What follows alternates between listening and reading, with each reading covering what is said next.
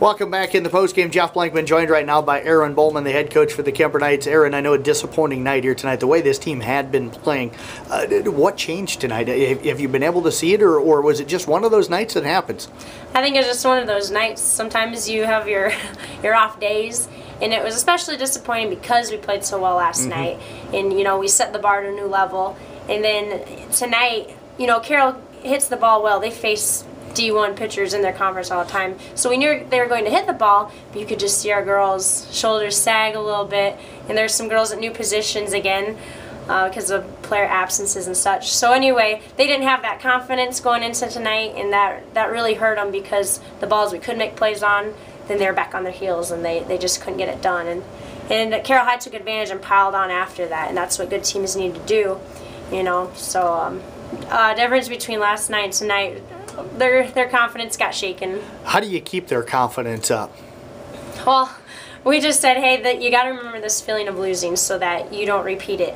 But yet, it's kind of one of those nights you just have to forget about and move on because dwelling on it is not going to improve our team. Our team our team's strength is our fight and our positivity and tonight it was tough to show that positivity and fight uh, so um, you just got to remind them of what our small goals are and what we're working towards because this is a building year and everybody knows that. So they just have to keep focusing on the ultimate goal. What were the positives that you took out of tonight's game?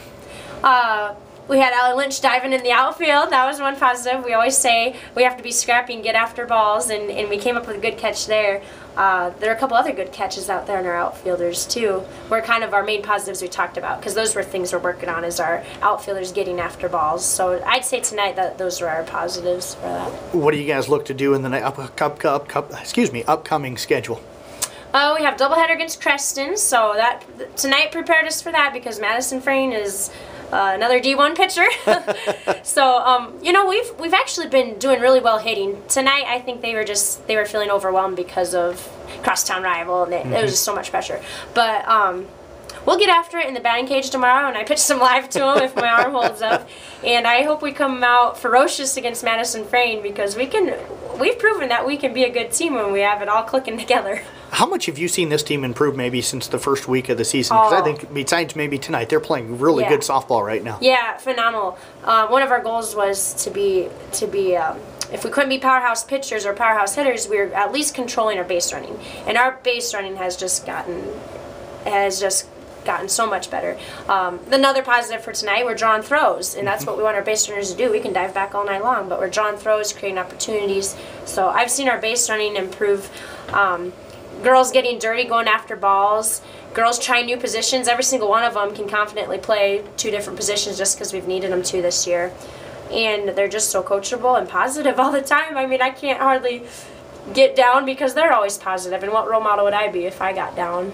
Well, I tell you what, Erin, uh, I know a tough one tonight, but you guys have done a great job with this team and this program. I want to thank you very much for joining us and best of luck coming up tomorrow against yeah, Creston. Thank you. Head coach Erin Bohlmann with the Kuemper Knights.